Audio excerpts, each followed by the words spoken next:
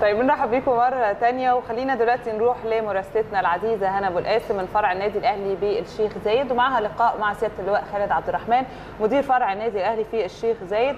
هيتم الحديث مفروض عن الإنشاءات داخل الفرع والأكاديميات والخدمات المقدمة لأعضاء الجمعية كمان العمومية. هنا بنصبح عليكي أنا وكريم وأكيد بنصبح على سيادة اللواء وسامعينك. اتفضلي. يا صباح الخير عليكم يا نهاوند ويا كريم وعلى كل مشاهدي قناة الأهلي في كل مكان. يوم جديد و10 الصبح في الأهلي وفقرة أخبار النادي لكن النهارده هتكون مختلفة. يعني زي ما انت قلتي يا نهاوند هيكون معانا لقاء مع سيادة اللواء خالد عبد الرحمن مدير فرع النادي الأهلي بالشيخ زايد. طبعا في البداية برحب بحضرتك على شاشة قناة النادي الأهلي وعايزة حضرتك تكلمنا عن الطفرة الإنشائية الغير مسبوقة الحقيقة داخل فرع الشيخ زايد. صباح الخير عليكم جميعا وعلى جمهورنا العظيم. أول حاجة بالنسبة للإنشاءات بالنسبة للفرع الشيخ زايد إحنا الحمد لله مجلس الإدارة مهتم جدا بالشيخ زايد والإدارة التنفيذية بتاعت النادي. كلهم طبعا حاطين في فرع الشيخ زايد في أهمية اللقاءات. عندنا صاله سكواش ومعها تنس الطاوله وديت بتشمل ثمان ملاعب سكواش على أعلى مستوى. آه عندنا صالة آه تنس طاولة بتسع آه ست ترابيزات. ودي طبعا حاجة جديدة بالنسبة للنادي الفرع هنا. دي من الأنشطة الجديدة اللي موجودة موجودة في النادي. في صالة الكاراتيه. اتنين دور في اتنين طابق. الطابق الأولاني فيه ثلاثة بساط يعني ست ملاعب ثلاثة فوق وثلاثة تحت. طبعا أي صالة من الصالات اللي موجودة بيبقى مشتمل فيها المكاتب الإدارية بتاعتها أوض اللبس بتاعتها ال WC بتاعها بتاع أوض تغيير الملابس للأعضاء وكده. الصالة الثالثه اللي هي الجمباز ودي بساط كامل بأحدث الأجهزة وأعلى مستوى. طبعا بتشمل المنطقة دي بتشمل ثلاث أماكن لجلوس الأعضاء. أول واحدة قدام قدام صالة الكاراتيه وتاني واحدة عند صالة الجمباز. وبين الثلاث صالات في مساحة كبيرة تقريبا 1100 متر. دي منطقة جلوس. وفي أربع منافذ مشروبات ومأكولات بتخدم المنطقة دي كلها. ده بالنسبة لمنطقة مجمع الصالات اللي هناك. اللي موجود الجديد اللي إن شاء الله في القريب العاجل هيتفتح بإذن الله. يمكن كمان كان تم افتتاح مجمع للبنوك منذ فترة ويمكن دي كانت خدمة مميزة جدا لأعضاء الشيخ زايد. إحنا عندنا الحمد لله يعني مجلس الإدارة كان مقرر اللي هو يفتحوا مجمع البنوك وعندنا ثلاث بنوك موجودين مختلفين. الأهلي وبنك القاهرة وبنك مصر ودي بتخدم الأعضاء في النادي الأهلي وأعضاء نادي الجمعيه العمومية.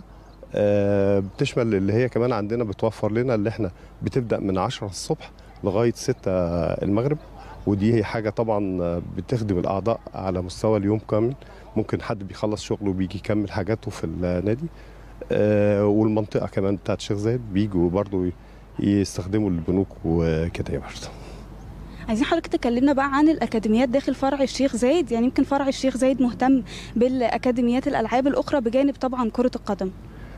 عندنا طبعا من أهم الأكاديميات اللي عندنا أكاديمية كرة القدم اللي موجودة عندنا هنا. ودي خدمة للأعضاء بتوع النادي الأهلي. وعندنا أكاديمية السباحة. على أعلى مستوى وبتأهل وبتطلع أبطال جامدين. بناخدهم في الفرق الأساسية في في الجزيرة. عندنا أكاديمية الطايرة وال basket وال handball والتنس الأرضي. في كمان فريق الباليه بتاعنا من أعلى المستويات اللي موجود عندنا. بالصالة بتاعته موجودة.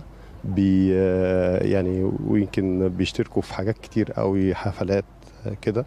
ويبقى كله طبعا طبعا نشاط الباليه اللي هو موجود في الجزيرة وفي مدينة نصر.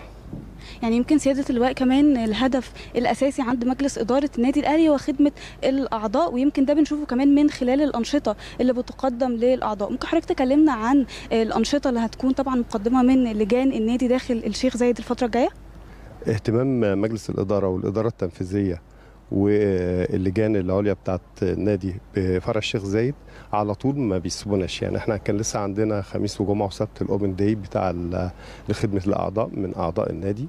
كان عندنا سباق الدرجات لسه كان من 15 أو 20 يوم. آه، عندنا سباق ماراثون خلال آه، الأسبوعين اللي جايين دولت. هيبقى في سباق ماراثون للأعضاء الشيخ آه، زايد. غير الندوات اللي موجودة على طول. آه، الاهتمام بصالة كبيرة للمباريات وعندنا خمس آه، أماكن الأعضاء كلهم بيتفرجوا على الشاشات من خلالها على مباريات النادي الأهلي. آه، مجلس الإدارة ما بيأخرش أي إمكانيات ولا الإدارة التنفيذية في خدمة الشيخ زايد على المستوى آه، يعني على مستوى النادي كله. بشكر حضرتك جدا طبعا سياده اللواء مع الشكر واهلا بيكم في بيتكم الشيخ زايد. يعني يا نهاوندو يا كريم ده كان لقائي مع اللواء خالد عبد الرحمن مدير فرع النادي الأهلي بالشيخ زايد. العودة ليكم مرة أخرى في الاستوديو. نشكرك جدا جدا على هذا اللقاء يا هنا وأكيد بنشكر سيادة اللواء. وحلو جدا إن إحنا دايما كمان نعرض لحضراتكم يعني كل ما يتم من تجديدات وتطوير على أرض الواقع وتشوفوها كمان يعني آه، بالصوت والصورة. لأن في ناس كتير ممكن تكون يا كريم مثلا ما بتروحش تزور فرع من فروع النادي الأهلي بشكل يعني دائم. فحلو إن إحنا ننقل لحضراتكم ما يتم من تطوير واهتمام يعني على أرض الواقع وخدمات أكيد لكل الجمهور. فشيء محترم جدا وكل يوم هنحاول إن إحنا نعرض يعني لحضراتكم شكل جديد وتطوير جديد في أي فرع من فروع النادي. شكرا ليكي مرة ثانية يا هنا